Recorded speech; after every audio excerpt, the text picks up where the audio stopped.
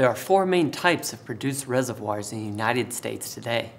In this video, we're going to take a high-level trip through the flow path of each type to explore the commonly used vessels and equipment.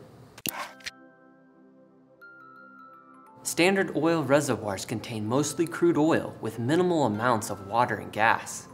Standard oil reservoirs will generally have two stages of separation. The first stage will happen in a free water knockout. In this vessel, retention time will allow the natural specific gravities to start separating the oil, water, and gas from each other. As they exit the vessel, the water is piped to storage, where it will eventually be disposed of. The gas is piped to either a sales line via a meter run or combustion line. The second stage of separation for an oil reservoir will typically happen in a heater treater. In this vessel, heat is used to accelerate the separation process and continue refining the produced emulsion into its three components. As they exit the heater treater, the water is again piped to storage. The gas will either travel to a sales line through a meter run or is destroyed in a combustor if quality parameters are not being met by the producer. The oil will continue to either a lease automatic custody transfer or LACT unit, or storage to await midstream transportation.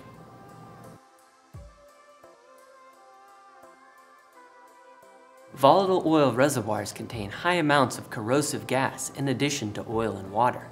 This type of reservoir will follow the same flow path as standard oil reservoirs, except for the gas. The gas in volatile oil well streams is highly corrosive. Because of this, it must be sent through an additional gas treatment process in a chemical gas conditioning tower or amine unit. These vessels are designed to absorb unwanted elements from the acidic gas. From there, the gas will go to a filter separator to remove any chemical carryover and then go back to the gas sales line. An important consideration for producers operating of volatile oil reservoirs is the materials in their vessels, piping, and valves. It is recommended to specify corrosive resistant materials to prevent premature wear due to the corrosive gas present in these types of well streams. Dry gas reservoirs produce mostly natural gas with some water vapor. This type of reservoir will first go through a gas production unit, or GPU. This vessel incorporates a line heater and a separator into one unit and separates the gas from the liquid. When leaving the GPU, the separated water will go to storage for later transportation and disposal. The condensate, which is the very light, valuable liquid hydrocarbon, will go to storage and be sold to a midstream company. The gas will exit the GPU and if conditions are correct and the pressure is already high enough, it will continue directly into a sales line.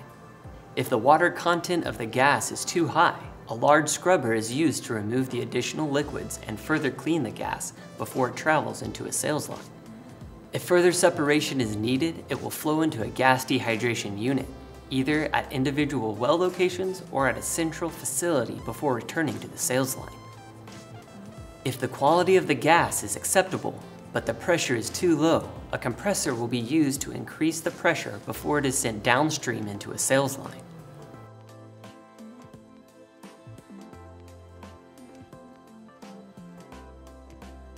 Gas condensate reservoirs will follow the same path as the dry gas reservoirs except for the condensate. Because of the large amounts of condensate these reservoirs produce, the liquid condensate will go into a low pressure separator in order to further separate it from the gas. The condensate will go to storage and the gas will go into a sales line. We have videos of most of these vessels where you can learn how they work in more detail and what Kimray products you'll find at each location. Check out our YouTube playlist for more training and information and contact your local Kimray store or authorized distributor with any questions.